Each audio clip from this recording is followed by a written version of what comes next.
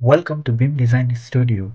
Today we are exploring Autodesk Revit 2026, a release engineered to redefine precision, productivity, and innovation in the AEC industry.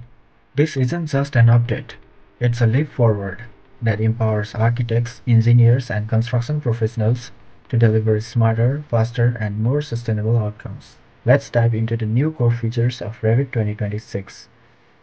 The launch of the Accelerated Graphics Tech Preview, a notable boost in visual performance and responsiveness, is one of the most important turning points.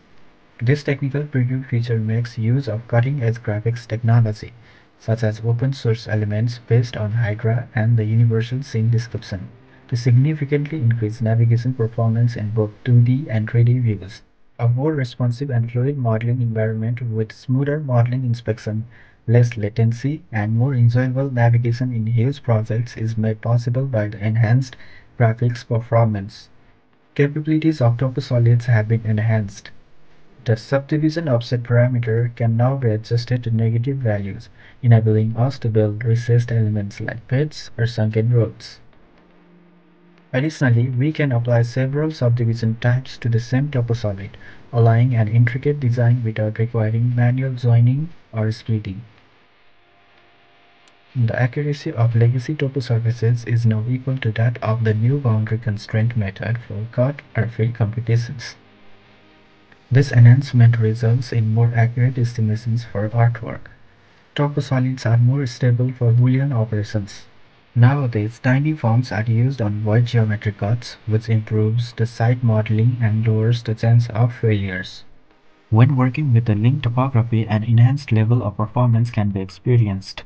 The efficiency of civil 3D surfaces connected to the project is increased by this improvement via Autodesk documents, fixing earlier incompatibilities and ensuring more precise translations. Copying and pasting slab shaped sub-elements like split lines and points can speed up the creation of topo solids, floors, and roofs. The option to create walls based on room boundaries is added in Revit 2026. There are two options with this approach. We can select the entire room boundaries or individual boundary segments while placing the walls. Compound assemblies no longer require a core layer. The ability to remove or relocate core layers outside the core boundary has improved wall joints. It has also made it simpler to produce compound parts without a structural core. For any compound elements such as walls, floors, roofs, ceilings, and topo solids, we can alter the layer priority separately from the function. Notable improvements to our documentation procedures can benefit us. We can now precisely arrange views on sheets and use automatic positioning, eliminating the need for human adjustments and ensuring consistency in our outputs.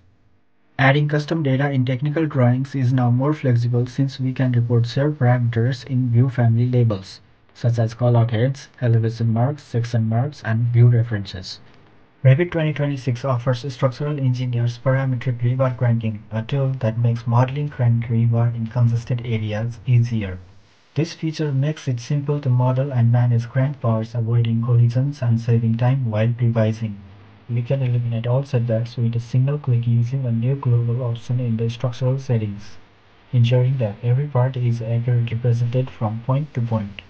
This feature, which focuses on downstream model correctness and utility rather than drawing presentation, applies to both freshly developed and existing existing pieces in the model. By combining HVAC zones and system zones into a more versatile and powerful system zones, HVAC zoning in Revit 2026 has been greatly enhanced. This improvement supports scheduling and color fill schemes expands attributes and enables zones to be specified by space or by drawing. By merging the advantages of earlier zoning objects, the consolidation reduces misunderstanding between them. Revit 2026 gives electrical engineers more flexibility in conductor computation by extending support outside the American wire gauge norm. Cable type and cable size have taken the role of wire type and wire size. More conductor information has been added, and voltage drop has been eliminated. This upgrade enables more realistic electrical system modeling and better serves customers outside the United States.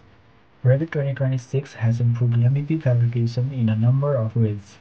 Step-down problems have been fixed, resulting in less output irregularities and more consistent behavior across all supported patterns. By removing all known disconnects, MEP fabrication configuration, reload time performance, and reliability have increased by around 70%. A preview of connections is now available in the new MEP content editor, allowing users to examine geometry before committing to the model. When connecting connections to parts, connector origin and snap points provide more clarity, boosting efficiency and confidence. We now have complete visibility and control over imported geometry because of the Manage Links dialog box's ability to import imported CAD files. The locations in a linked file may be more precisely specified with the new IFC link orientations. There are improvements in coordination modules. The model categories that are shown and their color and views are now precisely within our control.